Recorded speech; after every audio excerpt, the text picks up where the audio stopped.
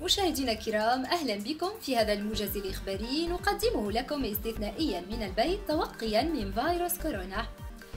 أعلنت المؤسسة الوطنية للنفط عن تحقيق إيرادات من المنتجات النفطية.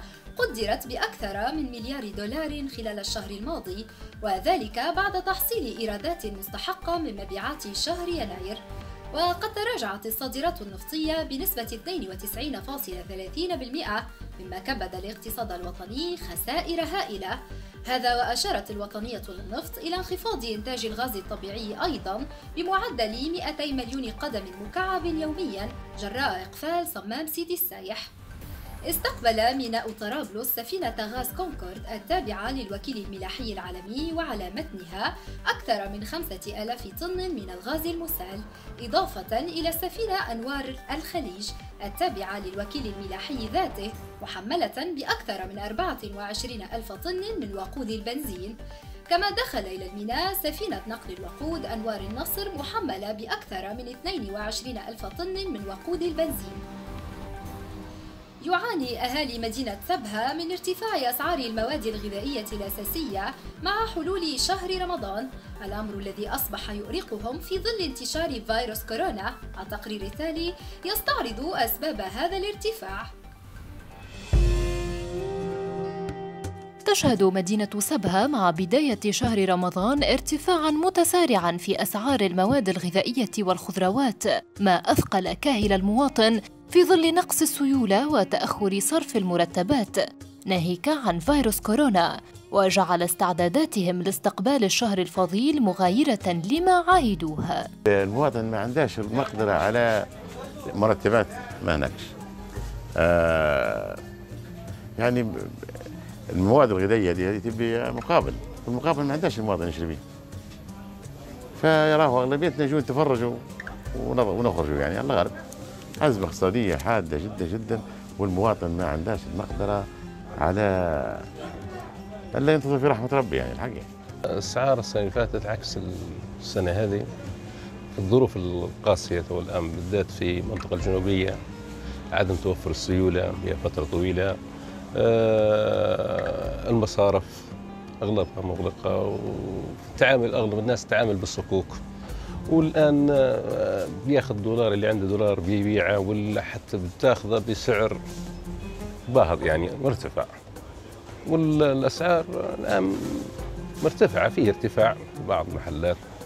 يختلف من محل لمحل يعني.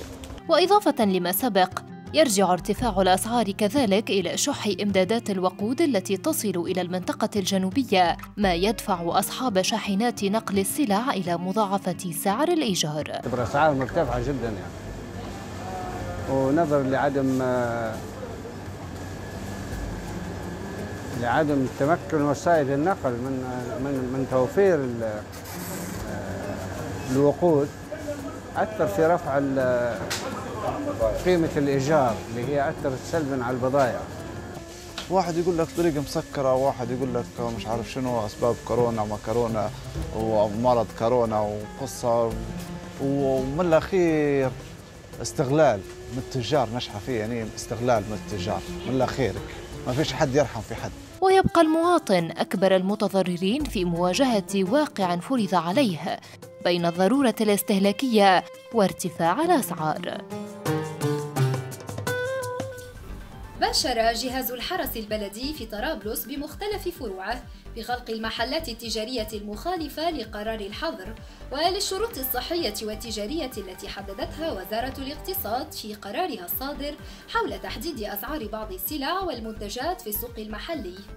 وكانت وزارة اقتصاد الوفاق قد حددت في قرارها أسعار 16 سلعة أساسية ودعت جهاز الحرس البلدي إلى إقفال المحلات التجارية المخالفة لهذا القرار. وفي سياق متصل صرح الناطق الرسمي باسم جهاز الحرس البلدي بطرابلس محمد الناعم لتبادل أن هناك العديد من المواد لم تحدد تسعيرتها من قبل وزارة الاقتصاد مشيرا إلى أنه متخوف من قرارها بالنظر إلى الوضع الاقتصادي الحالي.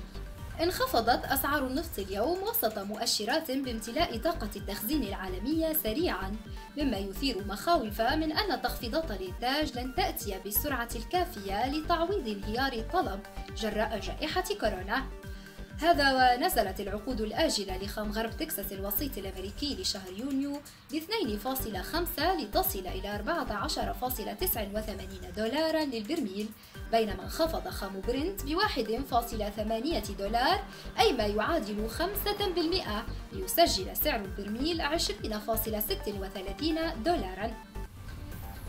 وقبل أن نختم هذا الموجز نترككم مع أسعار المواد الغذائية ومواد البناء وآخر أسعار صرف الدينار مقابل سلة من العملات.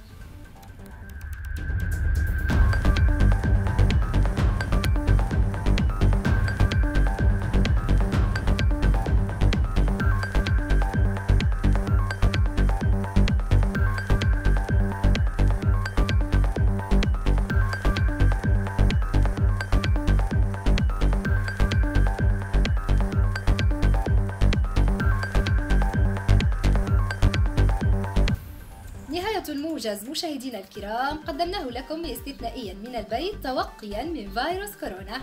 إلى اللقاء.